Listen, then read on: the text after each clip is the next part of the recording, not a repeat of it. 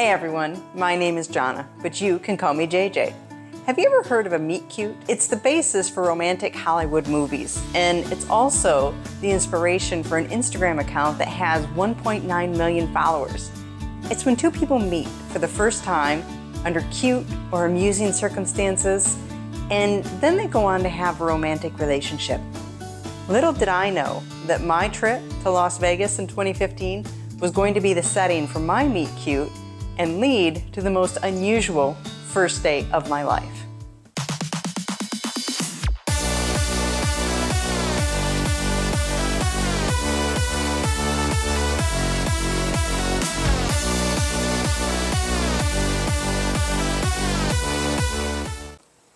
After my marriage fell apart in 2015, I was traveling in New York for work and I ran into an old friend named Scott. Well, even after my business was concluded and I returned to Michigan, Scott and I kept in touch almost every day. One day, he told me he had a work trip scheduled in Las Vegas. He was an agent for a horse transportation company and they were attending the national finals rodeos in an attempt to hire new drivers. So, knowing that I had plenty of vacation time saved up and that I could use some time off, Scott invited me to join him out there. Vegas is always a good idea, he'd said. You'll have fun, I promise. Well, I couldn't argue with that, so I booked a plane ticket and headed west. One morning, I met Scott in the open area of the hotel where all Avengers were set up. Knowing that he had to work the booth that day, and I had already told him I was going to visit the Harley shop and check out the strip.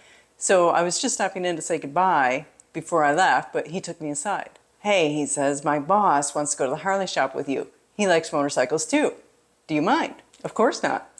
So Scott introduced me to Steve. Being the kind of person that can and will talk to everyone, I had no problem going to the Harley shop with someone I'd just met. So Steve and I jumped in an Uber and headed out. For two hours, we walked around the store talking nonstop as we looked at the clothing and the bikes. I was amazed at how much we had in common, and I was thoroughly enjoying our time together. When my stomach started rumbling, I told Steve I need to get something to eat, so he suggested that we go to the Harley Davidson Cafe. Once we were seated across from each other in this massive booth, the waitress appears to take our order. She, of course, asks, Would you like something to drink? Steve says, Captain and Diet. I said, Jack and Diet. A few minutes later, Steve holds his drink up to the light and peers at it. It is the color of honey. He takes a sip of the drink and grins. I'm going to be real entertaining after this. I took a sip of mine and I mentally agreed. I wasn't sure there was any Diet Coke in it, but oh well. After all, I was on vacation. Five hours later, Steve and I were deep in a conversation that hadn't stopped since we walked into the Harley shop that morning. He was so easy to talk to. I found myself telling him how scared I was that my kids would hate me because of the divorce, and he was so incredibly supportive. He told me about how his son lived in Key West and all the time he'd spent there. Steve challenged me to the Harley arcade game, and he took it very well when I beat him. We talked about anything and everything and laughed more than I had laughed in years. I found myself gazing at him across the table, and I thought, too bad he lives in Pennsylvania. I could date this guy. The conversation flowed as easily as the drinks until my phone went off with a text from Scott. Hey, we're supposed to be at this dinner. Can you bring Steve back? Feeling no pain by this point, I showed Steve the text and we laughed and laughed. I snapped a selfie of us, our first selfie, and sent it to Scott.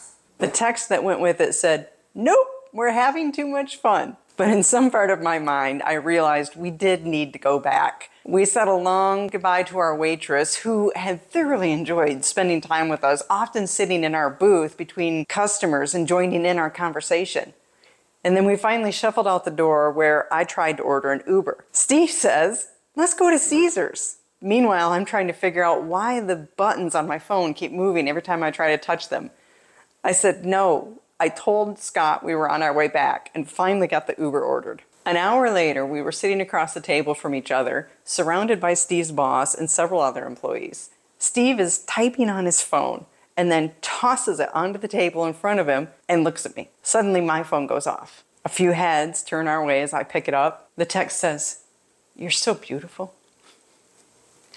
I couldn't help but laugh.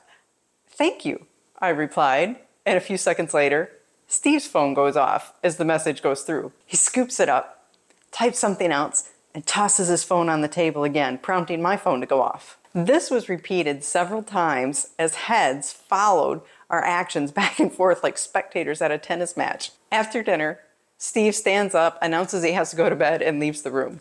Knowing that I wasn't in any better shape, I decided that I had probably better go to bed too. I had a 6 a.m. flight home the next morning, and I knew it wasn't going to be fun.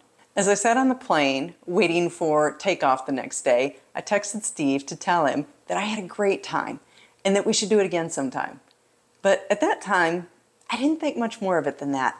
I lived in Michigan, he lived in Pennsylvania. There was an obvious age difference between us, although I didn't know how much, so I doubted we would see each other again anytime soon. A few days later, I had to get a new phone and lost all my contacts, including the text conversation and the number of that nice guy I spent the day with in Vegas. Life rolled on, as it does, especially during December when you have two girls in their early teens, between family get togethers and trying to muddle through my first Christmas as a separated couple with two girls, not to mention being a single woman on New Year's Eve for the first time in 16 years. It was suddenly January before I could even blink. Now, I was working for a university at the time, so I was lucky to have three weeks off through the holiday season. But that was over. I was sitting at home on Sunday night enjoying my last night before I was to return to work the next day when I receive a text from an unknown number. The text says, Hope you had a great holiday with your kids. You're such an incredibly upbeat person. Hope all is well. I Googled the area code and saw that it was a Pennsylvania number. There was only one person it could be, so I replied, oh OMG, it is so good to hear from you. I wanted to reach out to you earlier, but I lost your number. It was truly a pleasure meeting you. I had every intention of running off to Key West during my break from work in December and just spending a few days on a beach, but couldn't make it happen. Hope you're well. It was so great to hear from you. Steve replies immediately. When you want to run off to Key West, let me know. I will be your tour guide. You are such a positive person. I can still see that smile. I laughed. Yeah, okay, we'll run away together sometime. I typed out, anytime. I would love to get out of here. You let me know what works for you. Instant reply. How about Tuesday? I'm staring at the phone, my face somewhere between a smile and open mouth wonder. He was serious. Before I could answer, he sent another text. He says, Don't take that last text as creepy. I'm not a stalker. I'm very respectful and will show you a nice time in the Keys. No strings attached. I just have never had a better afternoon than what I shared with you in Vegas. Period and I'm at home in the Keys. We exchanged several more texts exploring the definition of no strings attached, including one where he emphatically assured me, just friends. I respect you, I barely know you, but I feel like I've known you for years. Okay, I thought.